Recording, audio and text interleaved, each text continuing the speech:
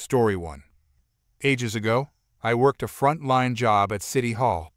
My job involved registering cars and dogs, collecting payments for parking tickets, property taxes, and the like. I was basically an entry-level municipal finance grunt, at the very bottom of the food chain, nowhere near being the one making the ordinances or rules, just a grunt. This was way before the days of taking credit or debit cards for payments, before smartphones, and before online banking really took off. It was all paper, paper, paper. The city's ordinance on tax interest stated that interest would accrue daily on any past due tax bills at a specific rate per year. Property taxes were due quarterly. On tax due dates, many people would come in to pay in cash, while many more sent checks through the mail. We kept extremely thorough paper records of all payments received including the remittance stub and the envelope showing the postmark. The postmark date was crucial if it was before or on the due date. No interest was charged. These records were batched daily by each clerk and stored in the vault, so anyone who needed to could find any receipt or remittance quickly. We often needed to, as did the city auditor. Business as usual meant that, a few days after the tax due date, we'd get some late payments through the mail daily interest would start adding up, but it wasn't much just a few cents a day for most homeowners. We'd send them a receipt in the mail with a note explaining they now had a small balance due to accrued interest. We'd hold that amount for 10 days. Most people would send another check, some would ignore it, and others would come in to pay in person. And then, one day, the stars aligned, and I got one. A real peach of a guy came in, Furious about the bill he received for what he called this got him interest nonsense. He slammed the bill down on the counter, inches from my face, and then followed it up by slamming a repurposed melatonin bottle full of pennies on top of it. Entitled customer, I hope whoever sent me this bill has to count these goddamn pennies. He was shouting loud enough for everyone in City Hall to hear. I could already tell it was my bill my initials were on the receipt when he slapped it down Cue malicious compliance. I smiled as brightly as I could and said, I'll find out who processed this for you, before grabbing his receipt and heading straight to the vault. I didn't give him enough time to react. I just got up and cheerfully said, It'll just be a minute, and disappeared from his sight. In the vault, I found the paperwork, including his postmarked envelope, which was two days late. Armed with that, I returned to my desk, picked up the melatonin bottle, and looked him right in the eye. Me? You're in luck today, sir. I'm the one who sent you that balance due, so I'll be happy to count these pennies for you. And so, I did. I counted all 39 of those pennies one by one. Very, very thoroughly. It took about 20 minutes from the moment that bottle hit the counter to the moment I finished. I made sure to be extremely pleasant, cordial, and smiling the whole time. Honestly, it was fun at that point so I kept pouring on the sweetness. By the time I was done, his face had turned a deep shade of purple. As he slunk out the door, clearly not getting the smug satisfaction he'd hoped for when he slammed that bottle down, I called out after him with a cheery tone. Me. Have a great rest of your day. The weather's beautiful. And indeed, it was. Story 2 In my last relationship, I lived with my husband, Danny, in a duplex owned by his mother, Donna. We lived on one side, and his mother and brother lived on the other. Donna was a very abusive person and took great joy in belittling me and tormenting me at every opportunity. She seemed to take extra pride whenever she succeeded in making me cry. Danny was a professional cook, and he would often prepare enough food for his mother, in addition to ourselves. On the occasions when I cooked, Donna also expected to be served dinner. One dish I made frequently was chili. Both Danny and his mother loved my chili, but they both preferred it spicy. I never made it spicy because I have a sensitive stomach. Danny would just add hot sauce to his serving, and that was the end of it. However, Donna would complain endlessly about the chili not being spicy, even going so far as to demand that I make the next batch spicier just for her. I told her I wasn't going to do that because I wouldn't be able to eat it. She basically told me that what I wanted didn't matter since she was gracious enough to allow me to live in her home. I responded that if she wanted it spicy, she could add hot sauce like Danny did or make her own chili. The next time Danny told her I was making chili, Donna came over while I was cooking and hovered around, demanding I add various ingredients to make it spicier. I firmly told her that I was making my chili the way I wanted, and that she could either go home and wait for it to be done or find something else to eat. She eventually left, and I continued cooking. Now, Danny fancied himself a bit of a hot sauce connoisseur and had never found a sauce too spicy for him. The previous Christmas, I had bought him a bottle of Carolina Reaper puree. When the chili was ready, Danny asked me to prepare a Tupperware container of chili for his mother while he used the bathroom, and he'd take it to her when he was done. So, like the good little wifey I was, I dished up the chili for Donna only. I added a heaping tablespoon of that Carolina Reaper puree. I mixed it in really well, topped it with shredded cheese, and closed the container, ready for delivery. Danny finished in the bathroom, delivered the chili, and we sat down to eat. About 30 minutes later, his phone rang. Danny liked to have his conversations on speaker, and this time I was grateful. Donna, Danny, something is wrong. Danny, what's wrong, Mom? Donna, this chili. Oh, it's burning me up. What did your wife do to this chili? Danny looked at me, confused, and I just shrugged. Danny, she didn't do anything. It's just her normal chili. What did you add to it, Mom? Donna, I added a little sriracha, but that shouldn't be this hot. Danny, well, maybe you added too much? Donna, that hateful woman did something to my chili. Danny, I'm going to get her. Danny, calm down. Ma, you're overreacting. Donna, I want her out of my house. Danny, you can't kick her out over chili, Mom. Donna, watch me. She hung up the phone. Danny turned to me and asked, Did you really do something to her chili? I smiled sweetly and said, She wanted it spicy? It's definitely spicy. There were no real consequences aside from her cursing me out. On the plus side, Donna never asked for my chili again. Story 3 Here is a revised version of the content with grammatical and punctuation errors fixed, proper paragraph breaks, expletives replaced, and acronyms initials expanded.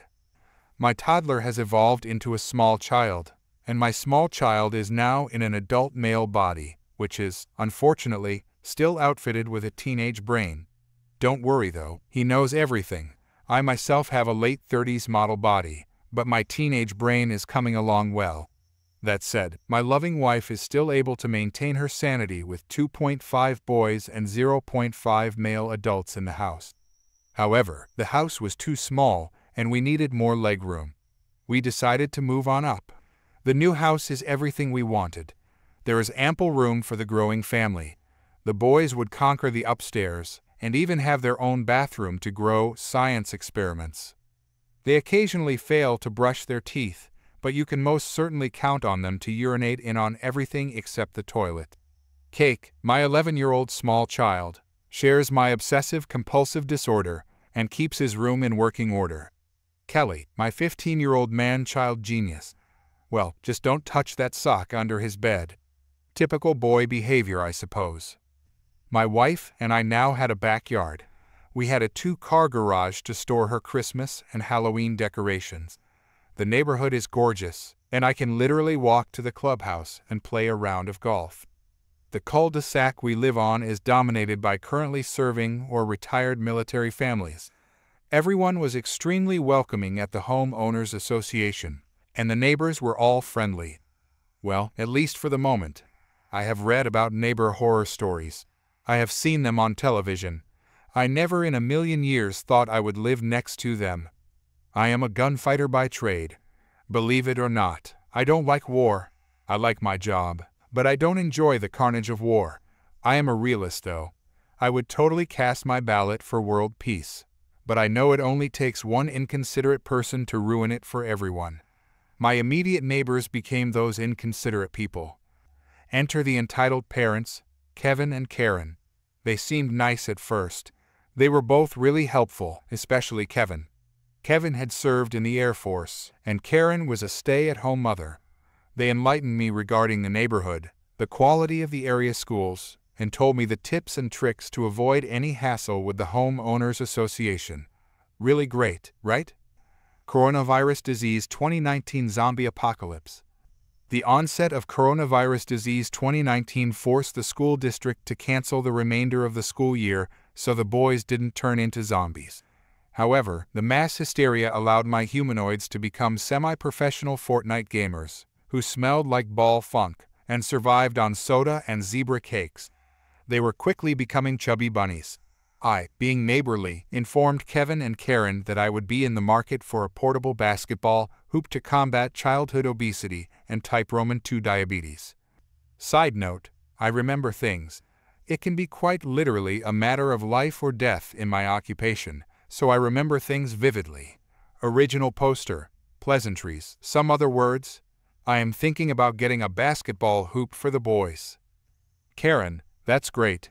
It's so good to have young children in the neighborhood again. Kevin, you know you can't put it in the street, right? It is against Homeowners Association rules. Kevin is a rules guy. Original poster, well aware. I will be putting it on the back pad. Karen, that's great. If the ball ever goes over the fence, just tell them to come get it. Awesome. It was a positive interaction, and they had no issue. Onward to Walmart. My children are well behaved. They may act like little troublemakers to each other and inside the house, but they are both kind and courteous to others. Despite Karen's instructions, I told them to knock on the door if the ball ever goes over the fence, so they did. First bounce over. My door, knock, knock, knock. Original poster, hey Kevin, how can I help you? Kevin, annoyed the ball went over the fence. Original poster. Did the boys knock and ask to get it? Kevin, yes. I just wanted to let you know. I spoke to my wife afterwards. That was odd, was all I could think. Is the guy going to let me know each time the ball goes over the fence? Maybe I should knock on his door? Hey Kevin, just wanted to let you know that your car is parked in the driveway. This process quickly became a routine for Kevin. Kevin became a self-licking ice cream cone. Kevin came over six times over the course of about three months. My wife began keeping tallies because it was odd and, but somewhat comical. Then things started to get real. Cake came running in the house scared. He had tears in his eyes, and he was continually reiterating, I didn't do anything wrong. Nobody has accused me of being world's best dad, so I was wondering if he did in fact do something wrong. I forego waterboarding Cake, this time, and ask what he is talking about. Cake stated, Karen is recording me. What? I look outside and sure enough, I see Karen at the fence and pointing her cell phone at me as if it was a loaded gun. I think, well darn it, because I know my wife is going to lose her composure. She did. My wife is dainty, but she quickly turned into a 4'11 Muhammad Ali.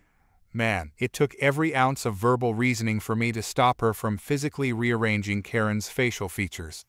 In addition to remembering things for work, I have to be well read regarding the laws that govern me as an American, and the local laws.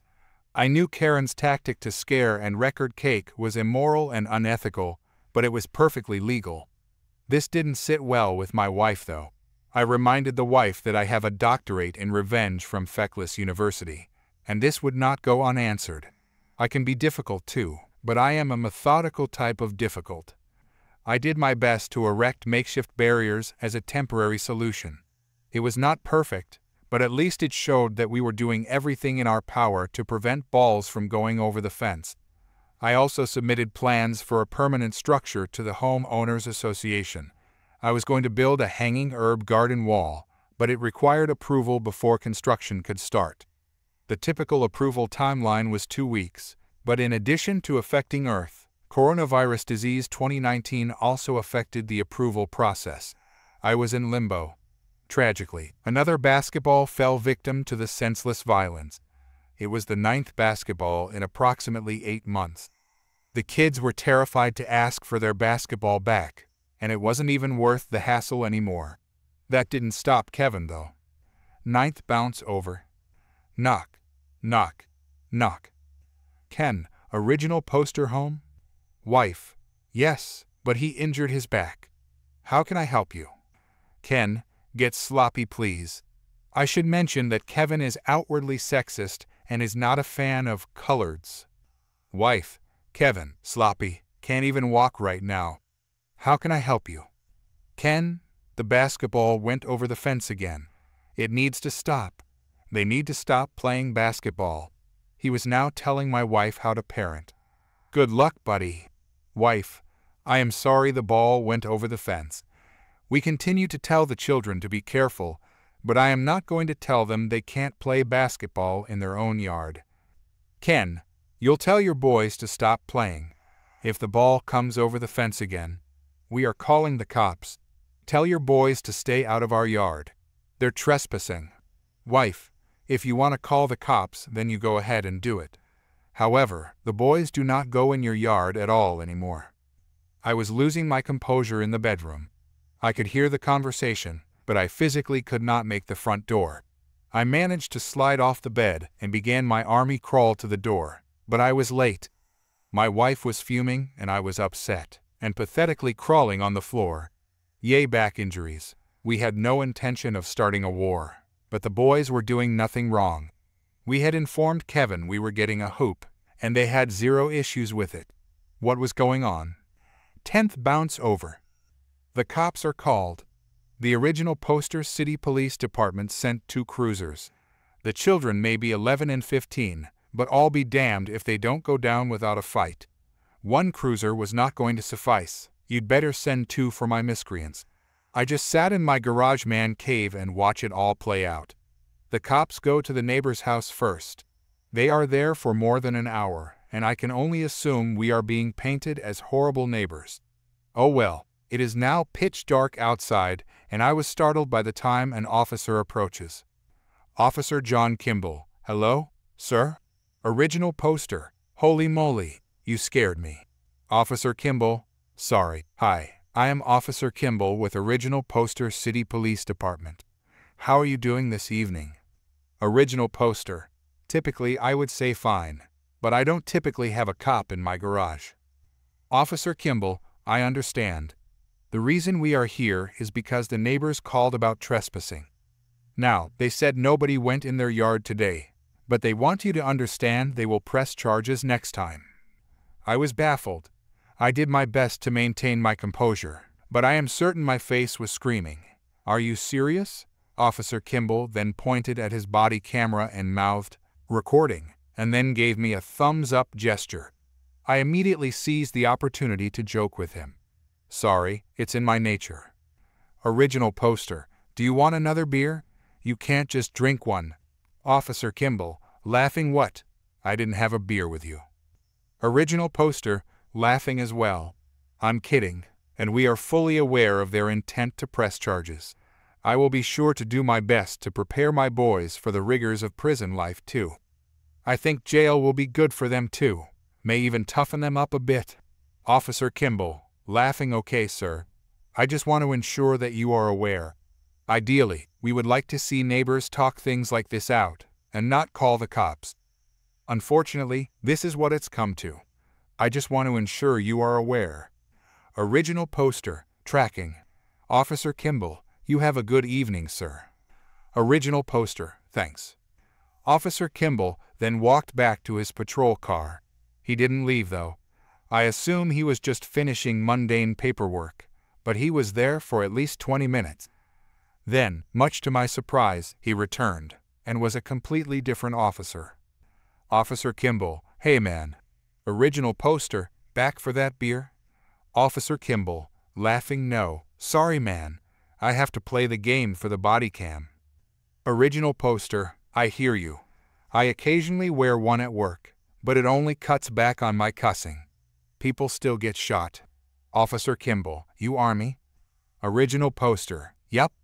Officer Kimball, cool. What do you do? Original poster, shoot fist, shoot often, and have my story straight before the cops arrive. Officer Kimball, laughing I figure as much after looking at all your stuff here. I just wanted to talk to you without the camera. They really seem eager to press charges if your children are caught in their yard. Original poster, laughing. My wife and I have concluded that. Officer Kimball, that lady is not right in the head. My God, she demanded we arrest your children tonight. Original poster, tonight. Officer Kimball, yes, she said they trespassed before, and she wanted to press charges now. Original poster, more laughing. I am sorry you have to deal with this brother. I really am. I can assure you that they have never gone in their yard without permission. Not once. They are terrified of her. She taunts them from the other side of the fence and records them. Seriously, they are scared of her. We now chalk the balls up as a loss. Officer Kimball, I believe you. There is something not right with that lady. She said the basketball wakes her son up, and she will not hesitate press charges. I told her we would do our duty, but I don't think the magistrate will not view the situation kindly if we arrest two children for playing basketball. She clearly does not care though. I just wanted to chat with you, and without the body cam, I can't exactly call her crazy while it is running. Officer John Kimball stayed for another hour. He was impressed with the collection of war memorabilia and the setup of my garage man cave. He was specifically intrigued with my Nintendo and working copy of Mike Tyson Punch-Out, among other classics. Yes, it's certainly cool, but it has little to do with the story. Shoot, Met fan. My wife was mowing the grass, and I was currently doing things I never thought would be a priority of mine, planting a new flower bed. Kevin and Karen had just returned from another Chick-fil-A run. Then the unthinkable happened. Kevin exited the car and immediately approached me, and he was angry. Kevin, your boys went into my yard and got a ball today. They may think we didn't notice, but we did. You need to tell those boys to stay out of my yard or... Original poster, wait a minute. I don't tolerate people who lie, cheat, or steal, and you are lying right now. Kevin, your boys were. Original poster. We were at an all-day soccer tournament in different state. We have only been home for a couple hours. They have not played any basketball since we have been home. You're lying. Kevin. Well, we are sick of them getting balls from our yard without permission. Original poster. Look, Kevin, I get it. However, you fail to recall when your wife said the boys were more than welcome to go in the yard and I didn't even get to finish when I heard the screech of Karen. I know my writing style is different, to say the least. I wish I was better. I do not have the words to accurately articulate the sound Karen made, but I will do my best. It was like the Tyrannosaurus from Jurassic Park making love to, to a nuclear explosion during a tornado, but way louder. The only thing that honestly makes this worse, and I kid you not, is that she is a dead ringer for Carole Baskin Tiger King. Not, maybe a little, but more, holy moly Carole Baskin is your neighbor type of resemblance. Karen, I never said that. I would never say that. She screamed at the top of her lungs, a mere inches from my face. I could smell the meow mix bellow from her scream factory. Meanwhile, Kevin pulled a Houdini and vanished. Kevin is a passive-aggressive, inconsiderate person, and direct confrontation scares him off. Original poster, yes, you did. Karen, I never said that. You're wrong. Original poster, whatever. It's not even worth it. Karen, I am so sick of your heathens going in my yard. Your heathens better not go in my yard again, or I will have them arrested. I know the law. The I know the law statement really rubbed me wrong. I was about to open my mouth and respond, but my wife was on her like stink on manure which led me to believe Karen is louder than a lawnmower. My wife was still seething about Karen recording the humans. Wife, they don't go in your yard, and they are good children. They are not heathens. You better stop recording my children. Karen, oh shut up. You guys are white trash. Your children play in the street and run around the neighborhood like criminals. They broke my mulch too, yes. She said they broke the mulch. Everybody knows you're trash. Just stupid, white, trash. I am now thinking, oh no, and semi-worried about Karen's future health as an active participant of living humans. I think my wife wanted to expire Karen's shelf life. Wife, excuse me? My children never play in the street. You're recording them, and... Karen, just shut up. You're stupid. You're just plain stupid. I can record them if I want. No wonder you don't have jobs. Wife, I have three advanced degrees. We are working from home. We are not. Here is a revised version of the content with grammatical and punctuation errors fixed, proper paragraph breaks, expletives replaced, and acronyms initials expanded. Karen, you are, you're trashy and stupid, and both your children are stupid. I had enough.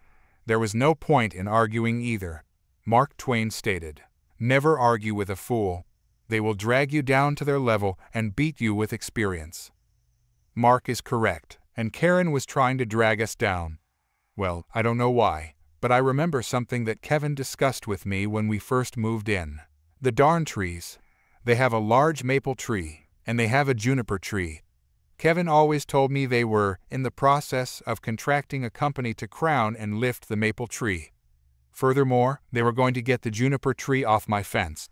Dear reader, I know the law too. I can legally trim anything that goes over my property line. Now all those pointless conversations were making sense. It was my time to join this exciting game called Pettiness. Original poster Karen.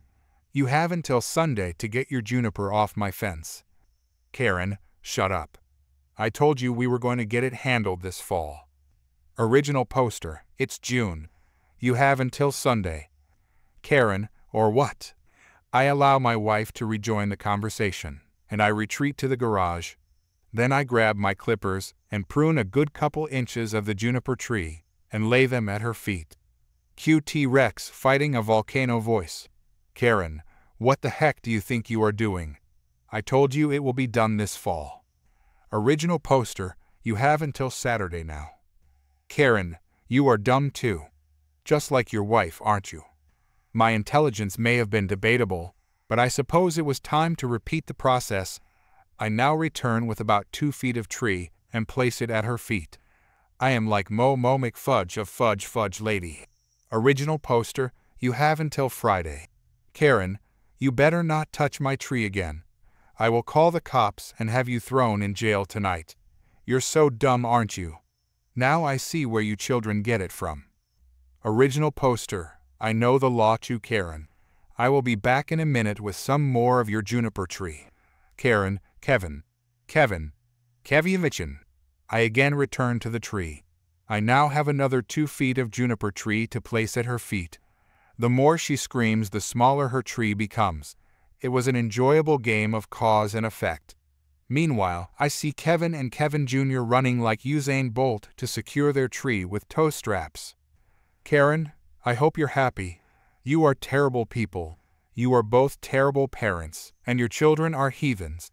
I am sick of ball bouncing and waking my son up too. You people need to move. You're just horrible parents. Horrible. Screaming louder, horrible parents.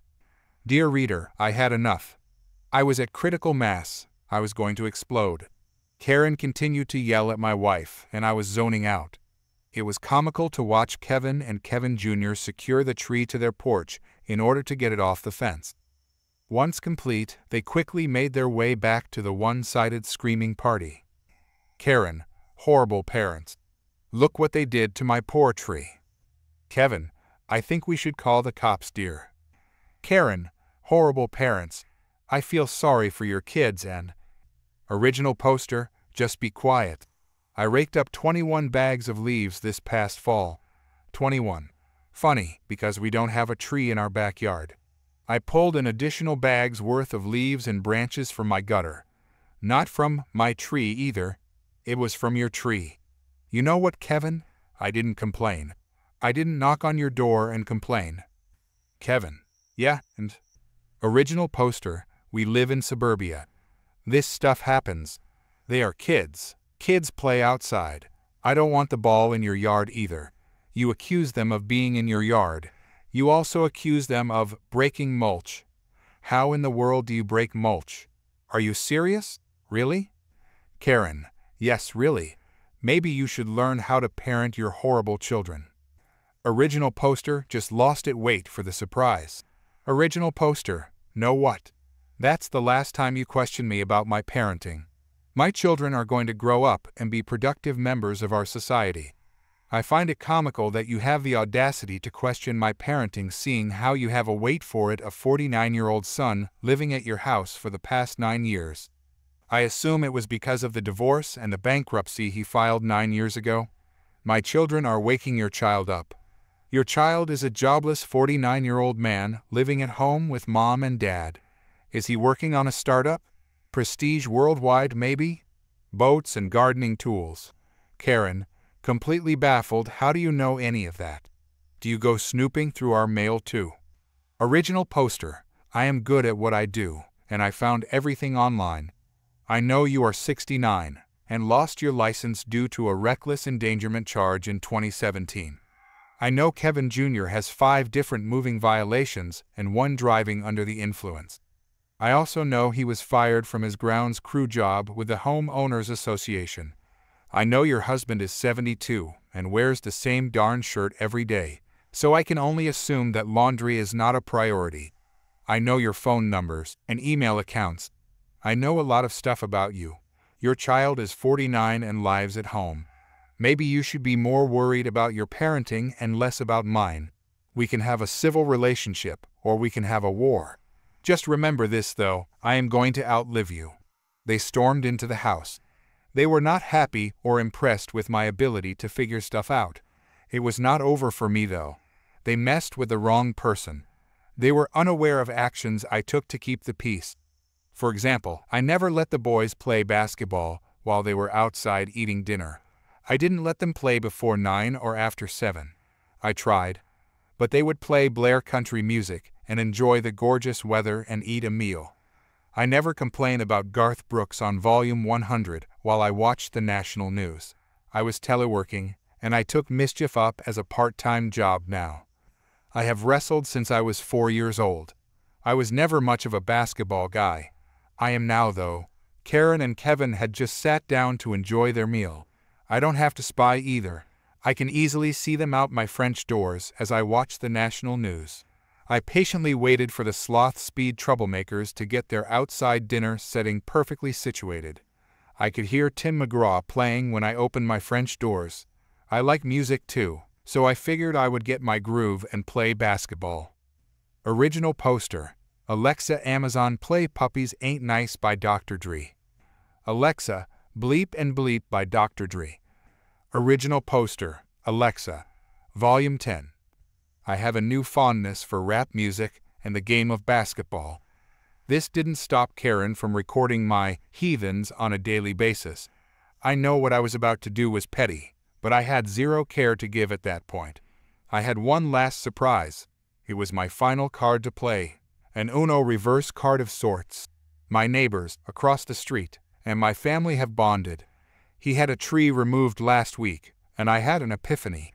How much would it cost to trim a large maple tree that overhangs my property? I am not talking a couple branches either, but more like one half of a more than 100 foot tree. I approached the tree removal company and offered them a sizable chunk of change and informed them of my delicate problem. They said, Any friend of my neighbor is a friend of theirs. Pro bono. They move their large equipment over to my backyard and take their time getting ready. Guess who came running out of the house? No, not Brad Pitt. Darn. Get your stuff together, reader. Karen and Kevin came running out. Kevin, hey buddy, buddy, not troublemaker, not horrible parent. Buddy, original poster, what can I do for you? Kevin, what are they doing here? Original poster, oh, them points? Kevin, yeah, what are they doing? Original poster, oh, well, they are going to trim the tree? Kevin, just trim. Original poster, yep, just a little trim. Karen, you know that tree was a gift from our daughter, right? We don't want anything drastic. It has been with us for over 40 years now. Kevin, yeah, it was a gift from our daughter. How much are you thinking about trimming? Original poster, well, just so you're aware, you understand that I can legally trim anything that overhangs my property. I have approval from my lawyer and the Homeowners Association to trim it. Frankly, I care as much about your tree as you do my children's privacy. I could care less. Kevin, how much are you talking about trimming then? Original poster. My property line is here I point, and it extends up I point up to space. I am going to trim every single branch that encroaches my property. So, probably about one third of your tree. It's going to look really funny when I am done. Oh well. Karen started to cry. It was a really, really ugly cry. There was no more rage left in her. She was defeated. Kevin was defeated as well. This was not my desire. Don't get me wrong, I don't care if she cried, but it was not my intent. Original poster, or you can stop recording my children. Karen, looking like snot-nosed Carole Baskin if I stop recording. Original poster, look. We don't have to like each other, because I certainly don't like you guys. My boys never go in your yard. Ever. I don't give a hoot if you keep the other basketballs, but I will be darned if you record them ever again. If you do, I will cut your tree down without warning.